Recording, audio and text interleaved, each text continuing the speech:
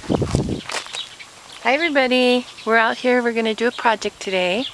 I have an idea and I wanted to make an arch going over this box and over that box like that.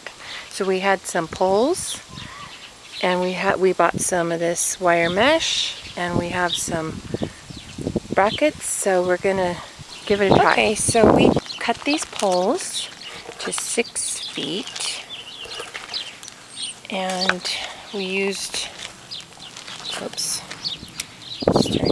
um, we used this cutter and we got some one and a half inch brackets. This is conduit and we are attaching it to the side of the box and these will be able to come in and out so we can take it down.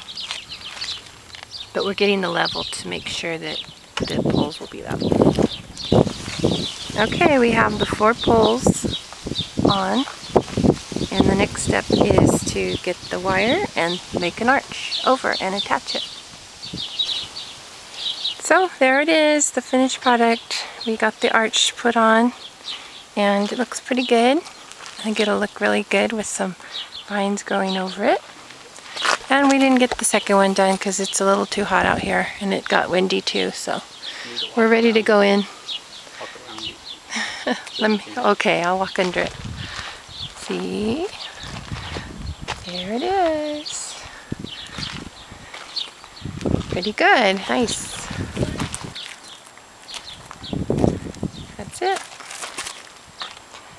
Okay, good project. Talk to you later.